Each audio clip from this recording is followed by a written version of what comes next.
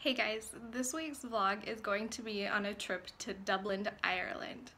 Um, Marissa and I decided to spontaneously do this trip because we had a free weekend and it's close, tickets were cheap, um, so we decided to go out. We're gonna fly out on Ryanair, which I have heard has a lot of really bad reviews, so we're gonna see what it's like.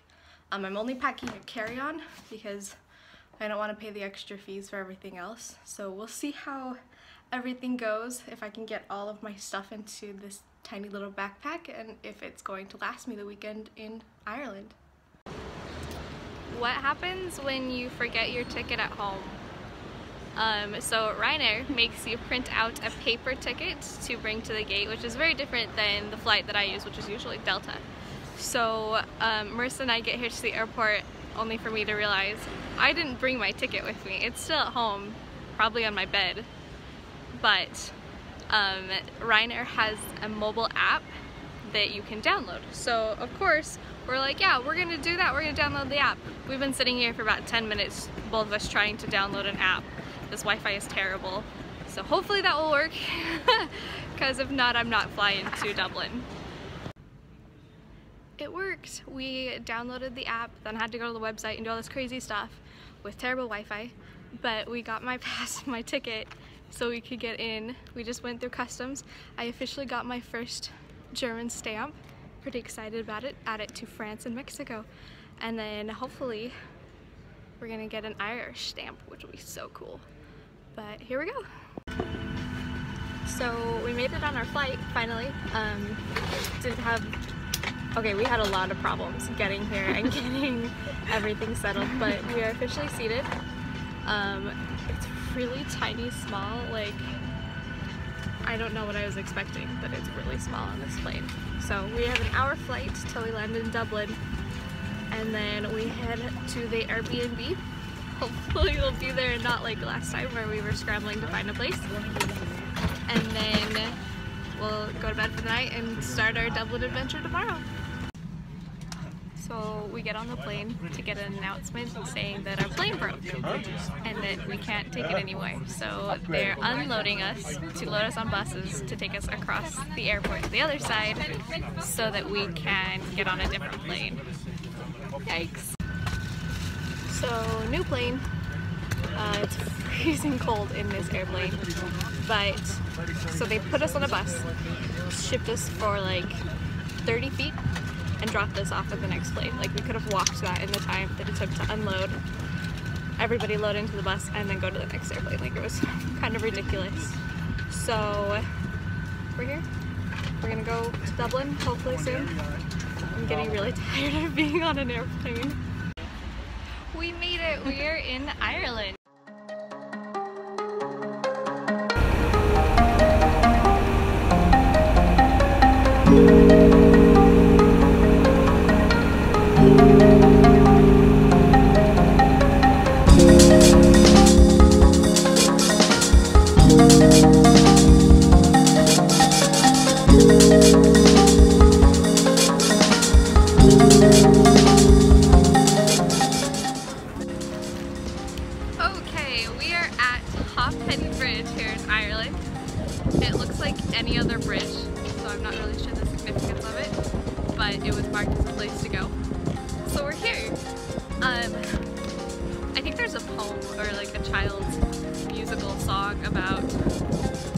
Pennies and half-baked bread, baker's dozen for a hop penny.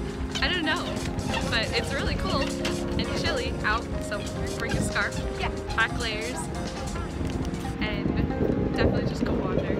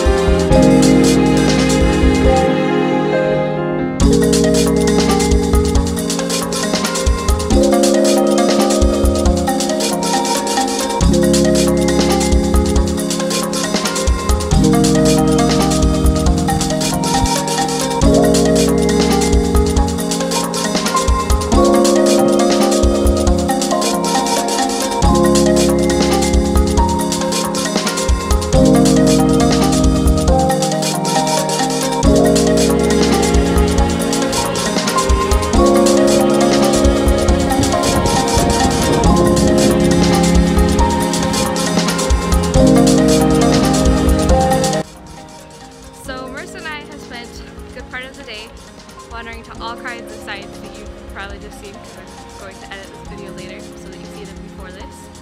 That's unimportant. um, and we finally, towards the end of the day, we've made it here. We are now at St. Patrick's Cathedral here in the background. Um, we're gonna go take a tour, hopefully, of it and see what exciting things this church has. I love old churches. Like, every place that we've gone and seen an old church, it has been like the most incredible thing on the inside. So this is hopefully gonna be really crazy exciting.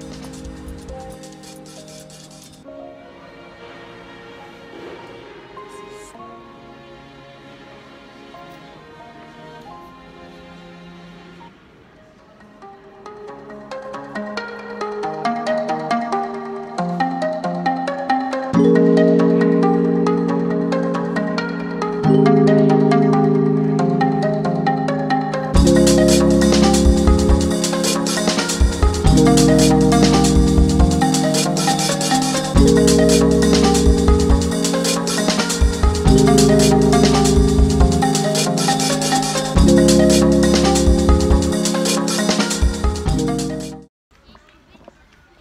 morning, people of YouTube. We started our day three, or day two, depending on how you look at it, going to the Malahide Castle because we technically are staying in Malahide and not Dublin. Um, to get to the castle, you have to cross through a big, expansive parks, and as we were walking along these paths, we suddenly realized that there's some kind of 5k marathon something going on with all of these people running, and I'm talking like a ton of people. We've been sitting here for three minutes now and people just keep on coming out of the park over there-ish. They just keep coming out. So we're waiting for all of them to pass before we can continue on because nobody wants to walk next to somebody who's running a 5k. Makes you look bad. Not them, you. So we'll get to the castle eventually.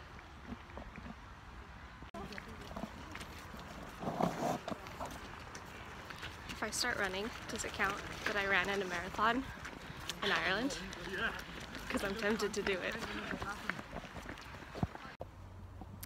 Ladies and gentlemen, may I introduce you to Dublin's own Malahide Castle.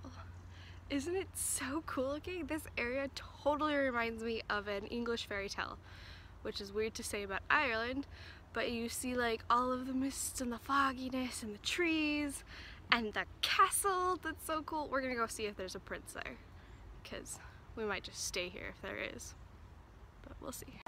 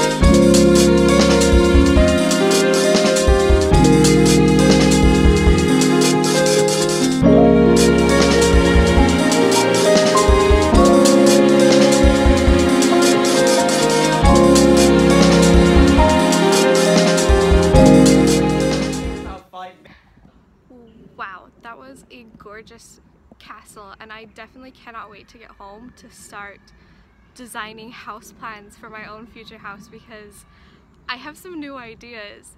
The oak room was gorgeous, the bedrooms, like can you imagine waking up in a giant four poster bedroom or four poster bed and just looking out upon endless swaths of green grass? Like holy cow, I'm so excited to eventually have that one day because that's my goal. right now we are wandering through the West Side Garden. This garden was planted by Milo Talbot, one of the last Talbots alive.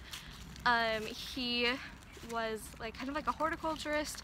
He brought plants from everywhere. So this garden area is clear full of plants all over. I've seen trees from China, from the Himalayas, from all over, just crazy, crazy amounts of stuff. Um, and it's very green. I mean, it did rain yesterday, so it probably helps, but this area is absolutely gorgeous. Oh look, there's a palm tree, just random palm tree. This is this is a really cool place to come see. Definitely on a top five bucket list is you need to come see this castle.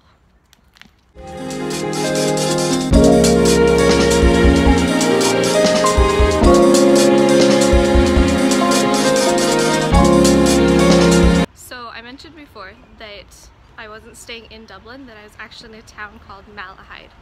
Um, Marissa and I just got done with the castle, so we are wandering our way to the beach. Currently walking through one of the main districts of Malahide. The shops here are very low compared to at home in Germany. At home in Germany, that's weird to say. So for example, like if you look across the street, it's only two stories, give or take. That's kind of the idea here. All of the shops on the street. I feel like a weirdo walking down the street talking to my camera. All of the streets and the stores are very quaint, very almost what I would imagine Ireland to be like. It, it fits every stereotype I've ever known or ever considered. Churches everywhere, cute little shops. They um, super advertised the Guinness beer here because I guess that was from Dublin, which is, you know, 30 minutes from here. Such a cool area. People just kind of walk. Um, weirdest thing to me is that, hi. I wondered what you were doing. I'm gonna keep this in the vlog because I feel like a weirdo. Um, okay, so the weirdest thing to me is the traffic. Okay, not necessarily the traffic of the cars, but of the people. When people come to intersections, they don't wait for the signs and they just kind of go when they can. You can tell, like, this was especially true in Dublin, you can tell who is Irish and who is not, who's a tourist, by if they wait for the sign or not. So in Germany, like, you wait. You do not walk across the road. You get yelled at by little old ladies or young kids stare at you. But here, you just kind of run. I have seen more old people run here than I have seen young kids run. It's, it's really weird. It's interesting. I mean, I would almost imagine it to be similar to America, but it's not quite. So this is just a cute little town. Cars also driving the wrong side of the road with the wrong side of the steering wheel. That super freaked me out the first night when we took a bus. Um, I had a really hard time going around all of the roundabouts because they would do it wrong according to my view of the world, my culture, learning things from class. Um, but as I've gotten over that and I've watched it, it makes sense here and it's just kind of interesting. I still like have to watch cars and um, remember, oh my gosh, they're not on the wrong side of the road. It's, oh my gosh, that's just how they drive here. so it's getting used to a lot of this, but it's not bad. I don't, I don't know where Marissa went. I'm gonna go find her.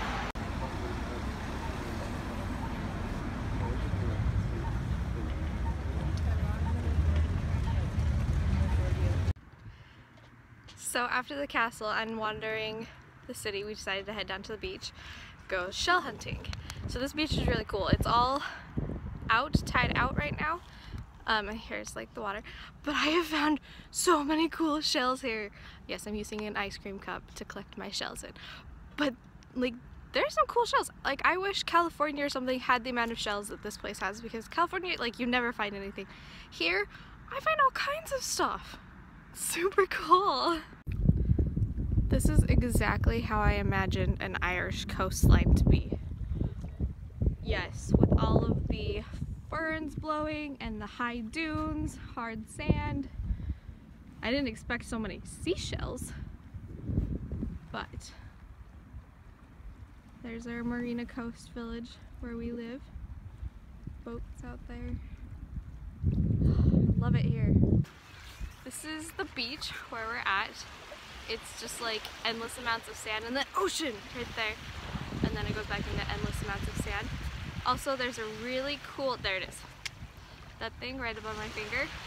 We're gonna try and get there. It's some cool looking cliffs that we think will be really fun to go just stand on. I'm thinking it'd be fun to go stand and pretend I'm waiting for my Irish prince to come home. But we're gonna try and find our way there. Okay. So close and yet so far. This is the island we've been trying to reach all afternoon. We took several buses, took the DART train and everything, and finally got this far only to find out that there's a ferry that you have to get to it because it's an actual island, not just like an outcrop of ground. so we came out here to look for the ferry. We found the ferry dock, but no ferry, so we don't know where it's at or when it's coming back, if it'll ever come back. But we're here. This is really cool. This island in the background. And then we just walked through this tiny little village called Howth. H-O-W-T-H. And it is like the utmost fishing village I've been to since I've been to Maine. And it is, it's cute. We went and had fish and chips there at like an actual like really famous fish and chips restaurant that I don't remember the name of now. But it was good. It was really good. Um, I actually like garlic sauce now because of it. But, so we're just gonna spend the rest of the afternoon wandering around, maybe find more chocolate, maybe find more things to do, like feed crows and birds and stuff. Also, selfie sticks are an amazing thing. Smile!